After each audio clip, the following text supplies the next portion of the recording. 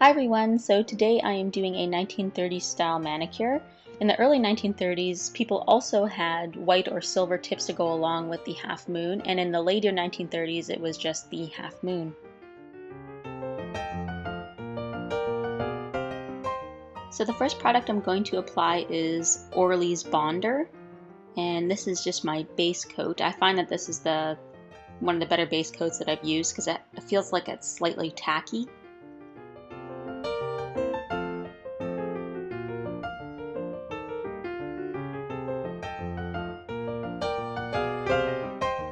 So the first color I'll be using is Sally Hansen's Xtreme Wear in Celeb City, which is a beautiful sparkly silver color.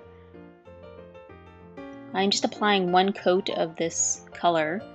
Um, if you're using a less opaque color, you may want to apply several coats. However, I'm just making sure that with the area where the half moon will be will um, be opaque. And then you also have to let this dry thoroughly or else the stencil that we're using for the half moon will peel up the polish. What I'm using for the half moon stencils are these reinforcements for hole punch pages.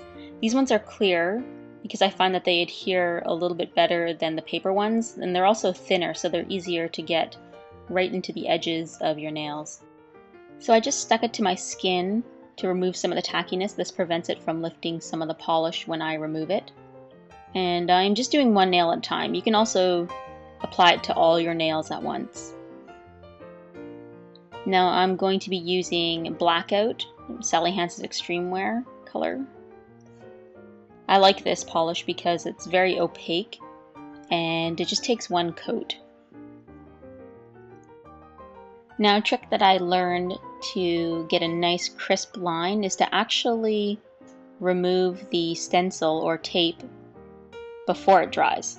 And that gives you a nice crisp line. It doesn't lift any of the polish.